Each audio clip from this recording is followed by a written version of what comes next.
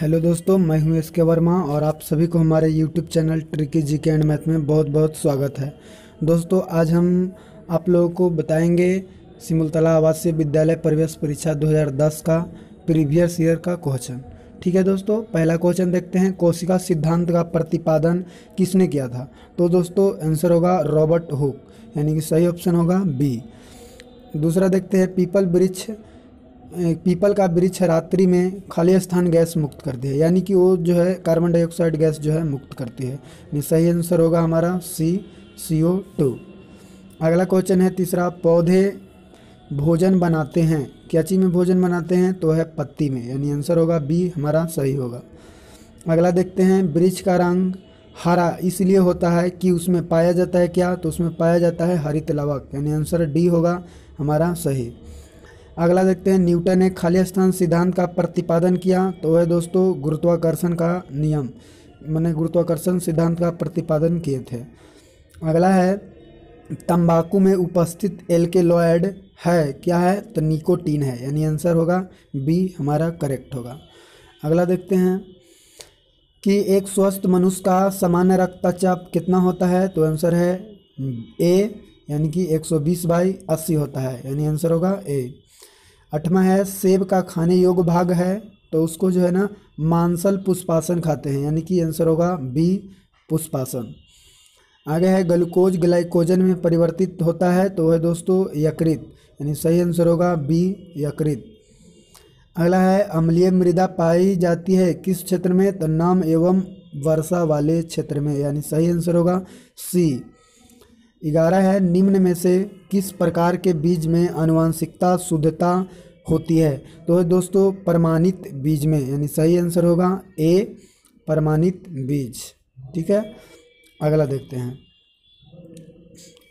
झारखंड की सबसे बड़ी नदी कौन सी है? तो झारखंड की सबसे बड़ी नदी जो है, दामोदर नदी जो है, ए आंसर होगा सही। तेरह है विश्व का सबसे बड़ा महासागर। कौन सा है? तो विश्व का सबसे बड़ा महासागर दोस्तों, वह प्रशांत महासागर, यानी आंसर होगा सी, सही होगा। चौदह देखते हैं, भारतीय स्वतंत्रता संग्राम की पहली लड़ाई कब हुई? तो हुआ था अठारह में, यानी कि आंसर होगा सी, सही होगा। पंद्रह है, झारखंड में सर्वाधिक झारखंड में सर्वाधिक कौन सी मिट्टी पाई जाती है? तो झारखंड में सर्वाधिक जो है लेट काली मिट्टी पाई जाती है। नहीं दोस्तों सॉरी लेटेराइट मिट्टी पाई जाती है। आंसर होगा बी हमारा सही।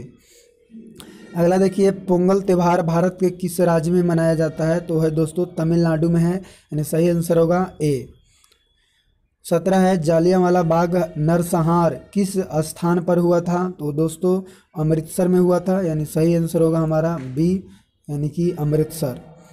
आगे है मीनाश्री मंदिर, भारत के किस राज्य में है? तो दोस्तों, तमिलनाडु में है, यानी आंसर होगा सी सही। भारत किस महादेश में है? तो एशिया महादेश में हमारे भारत है, यानी सही आंसर होगा ए अगला है बीस, की आदि मानव के द्वारा खोजा गया पहला धातु कौन सा है? तो आदि मानव के द्वारा खोजा गया पहला धातु तांबा होगा, यानी आंसर बी सही होगा। निम्नलिखित में से अगला क्वेश्चन इक्कीस है? निम्नलिखित में से कौन भारत का मरुस्थल है? तो है दोस्तों, थार मरुस्थल, यानी सही आंसर होगा डी थार मरुस्थल। अगला है बाईस निम्नलिखित में से कौन क्रांतिकारी था? तो है दोस्तों ओ एम ह्यूम यानी सही आंसर होगा सी अगला देखते हैं, तेईस। ओजोन परत कौन सी किरणों को समा लेती है? तो कॉस्मिक किरणों को जो है दोस्तों, समा लेती है, यानी सही आंसर होगा डी अगला है, पृथ्वी की आकृति कैसी है? तो पृथ्वी की आकृति गोल है, यानी सही आंसर होगा ए। अगला क्वेश्चन है, किस ग्रह को लाल ग्रह कहते हैं? तो दोस्तों, मंगल, यानी सही आंसर होगा सी, मंगल ग्रह। पंचायती राज कब से प्रारंभ हुआ? तो है दोस्तों, आंसर डी, उन्नीस सौ उनसठ। अगला है, भारत का प्रधानमंत्री नियुक्त होने के लिए कम से कम कितनी आयु होनी चाहिए? तो है दोस्तों, पच्चीस नियुक्त होने के लिए नहीं नियुक्त होने के लिए दोस्तों यहाँ पे ऑप्शन गलत लिखा हुआ है पच्चीस वर्ष होगा। ठीक है? सही आंसर होगा पच्चीस वर्ष। यानी कि भारत की भारत के प्रधानमंत्री को नियुक्त होने के लिए जो है पच्चीस वर्ष तक होएगी। और उसको जो है ना क्वेश्चन ए था लेकिन गलत लिखा गया है कि भारत का प्रधानमंत्री जो है ए, उसको रिटायर होने के लिए यानी कि त्याग पत्र देने के लिए जो है कितनी वर्ष होनी चाहिए तो उसकी कोई सीमा नहीं है।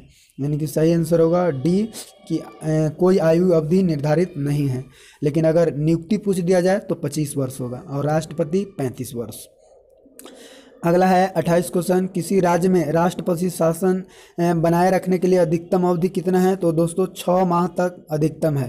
यानी सही आंसर होगा हमारा, देखिए, सही आंसर होगा डी छ माह। आगे है, गांधी जी ने डांडी मार्च क्यों किया था? तो वह जो दोस्तों, नमक कानून उल्लंघन को उल्लंघन को लेकर किए थे, यानी सही आंसर होगा सी अगला है, निम्नलिखित में से कौन कौन सा ग्रह सूर्य के सबसे निकट है? तो दोस्तों होगा सही आंसर सी यानी कि बुद्ध इकतीस है, भारत के विभिन्न राज्यों के राजभवनों में कौन रहते हैं? तो है दोस्तों, राज्यपाल, यानी कि राज्यों के विभिन्न राज्य भवनों में राज्यपाल रहते हैं, सही आंसर होगा डी आगे है प्रधानमंत्री अपना त्याग पत्र किसे सौंपता है? तो दोस्तों, राष्ट्रपति को सौंपेगा, यानी सही आंसर होगा ए अगला है लोकसभा का अध्यक्ष। नहीं सॉरी तैतीस क्वेश्चन है यहाँ। कि विश्व विश्व इतिहास की एक झलक नामक पुस्तक किसने लिखी? तो इधर इसका आंसर है। यानी कि वो है दोस्तों जवाहरलाल नेहरू। यानी सही आंसर होगा हमारा बी जवाहरलाल नेहरू। ठीक है? और अगला देखते हैं। चौंतीस। भारतीय राष्ट्रीय कांग्रेस के संस्थापक कौन थे? तो भारतीय राष्ट्रीय कांग्रेस के संस्थापक आंसर होगा सी, ए, ओ, ह्यूम। यानी कि सी आंसर सही होगा। अगला देखते हैं, हिंदी दिवस। सॉरी, गलत लिखा हुआ है यहाँ पे। हिंदी दिवस होगा। हिंद दिवस नहीं। हिंदी दिवस जो है दोस्तों, वह चौदह सितंबर को मनाया जाता है। यानी कि सही आंसर होगा हमारा हिंदी दिवस। यानी कि आंसर डी जो होगा, करेक्ट होगा। अगला देखते हैं कि जर्मनी की राजधानी कहाँ है? तो जर्मनी की राजधानी दोस्तों, वो बर्लिन है। यानी सही आंसर होगा हमारा सी बर्लिन। अगला है क्वेश्चन सैंतीस कि पृथ्वी क्या है? तो पृथ्वी जो है, एक ग्रह है। यानी सही आंसर बी अगला देखते हैं, रेगिस्तान में हरियाली वाले भाग को क्या कहते हैं? तो हरियाली वाले भाग को मरुद्यान कहते हैं। सही आंसर होगा ए अगला देखते हैं, उनचालीस। यूरोप के किस भाग में जनसंख्या अधिक है? तो यूरोप को जो है मतलब उत्तरी भाग में जो है, जनसंख्या सबसे अधिक होगा, यानी आंसर होगा ए अगला है, प्रिय प्रवास पुस्तक के लेखक जो है कौन है? तो श्री उपा, श्री अयोध्या सिंह उपाध्याय होगा, यानी सही आंसर ए अगला इकतालीस क्वेश्चन है कि अमरनाथ किस राज्य में है? तो है दोस्तों, यहाँ पे दिया हुआ जम्मू कश्मीर, यानी सही आंसर होगा सी जम्मू कश्मीर. अगला है, उत्तर भारत की सबसे लंबी नदी का नाम क्या है? तो है दोस्तों, ब्रह्मपुत्र, यानी सही आंसर सी अगला है, कालिदास किस राजा के दरबार में कवि थे? तो कालिदास चंद्रगुप्त प्रथम के दरबार में जो है कवि थे, यानी सही आंसर ए होगा चंद्रगुप्त प्रथम। अगला है, जालियांवाला बाग हत्याकांड कब हुआ? तो है दोस्तों, सही आंसर होगा उन्नीस सौ उन्नीस, यानी तेरह अप्रैल उन्नीस सौ उन्नीस, सही होगा, यानी answer C thank you for watching my video friends इसी प्रकार से उनको मेरे वीडियो को देखते रहें लाइक करें सब्सक्राइब करें और अपने दोस्तों के बीच शेयर करें ताकि हम आप लोगों के बीच में जो है इसी प्रकार से वीडियो बनाते रहें। थैंक यू धन्यवाद।